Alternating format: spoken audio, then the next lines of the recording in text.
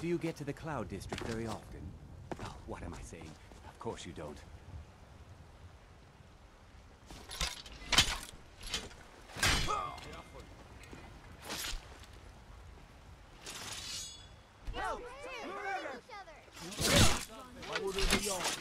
Stop right there.